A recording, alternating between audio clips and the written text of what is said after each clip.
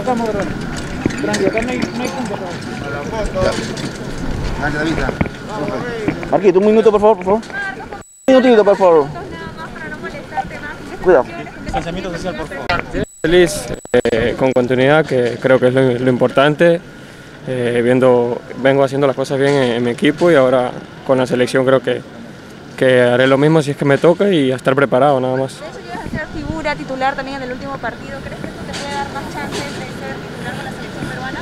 Pienso que es importante la, la continuidad porque ya que te agarra con, con ritmo, con juego, eh, al final el profe Ricardo va a ser el que, el que decida, el que lo vea mejor. eh, todos sabemos la calidad de, de Miguel también, así que va a ser una competencia muy sana, pero yo, yo me siento preparado y voy a estar para, para 5, 10, 15, 45 minutos o, o 90 minutos. Marcos, ¿cómo estás? ¿Pero sientes que aprovechaste tu oportunidad en la Copa América en los minutos que te tocó?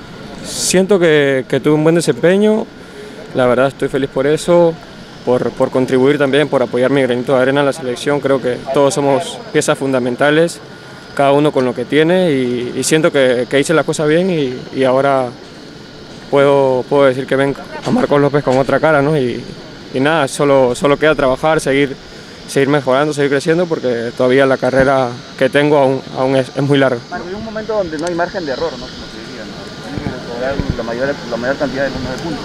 Sí, eh, son dos partidos locales que para mí tienen que ser seis puntos, eh, eso lo tengo claro y creo que lo tiene claro también el grupo. Eh, y con Brasil vamos a ver qué pasa, ¿no? Eh, todo puede pasar. eh, sabemos que va a ser difícil, pero no imposible, ¿no? Eh, son 11 contra 11 dentro del campo. Marcos, más allá de la buena base que tuvo la Copa América, ¿qué valor le das que vuelvan futbolistas de experiencia como Raúl Ruiz Díaz, Pablo Guerrero, al vínculo, al grupo? Son jugadores muy importantes que, que siempre aportan lo mejor que tienen para, para la selección y creo que va a ser, ser de mucha ayuda y de mucha utilidad para, para ir adelante también eh, como, como lo fue la Padula en la, en la Copa América, ¿no? ¿cuál crees que es la fortaleza que tiene Perú? Porque hemos visto que, digamos, se cae en situaciones, pero también puede levantarse. Eh, la unión y, y el trabajo en, en equipo que tiene dentro del campo, ¿no? Creo que todos se apoyan y, y eso es fundamental porque si ves individual por individualidad crece cuando, cuando el equipo juega bien, porque cuando uno solo está bien y el equipo está mal, eh, la verdad que Perú no funciona, pero, pero siento que, que Perú dentro del campo se hace fuerte con, con la, con la posesión y, y la calidad con que maneja la pelota. Eh?